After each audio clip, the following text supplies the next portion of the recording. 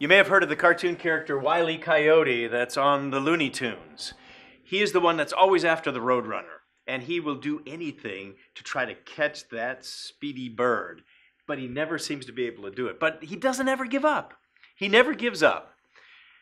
And there's actually a reason that I wrote it on the board that's a biblical reason. And then there's a connection that came to my maybe odd mind recently, and it's a connection to Ephesians chapter 6, verse 11. Ephesians chapter 6 and verse 11. Wile E. Coyote came into mind when I read this passage.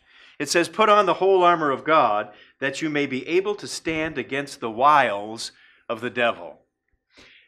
Now, it might seem kind of corny to think of it in this term, but the wiles, the reason they called him Wile E. Coyote is because he's constantly scheming how to get that bird.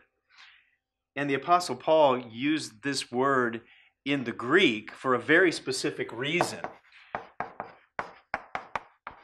The word is methodias in the Greek, which doesn't just mean using methods, but he uses schemes and he uses tactics and using wiles in the sense of using a strategy against us as God's people. So, in a sense, we've got Satan, the devil, with a strategy and the tactics of evil that are opposing us. And he's not going to give up, and he's not going to relent. He's like, in a sense, like this evil, wily coyote, out to do anything and everything he possibly can to us as God's people. And so it's not like Satan's just kind of walking and strolling around without any intention. No, he has an intention. He has a method. He has a strategy to undermine our faith and somehow thinking that he can shortchange God and overtake God and subvert his plan if he can subvert us. So we got to keep this in mind.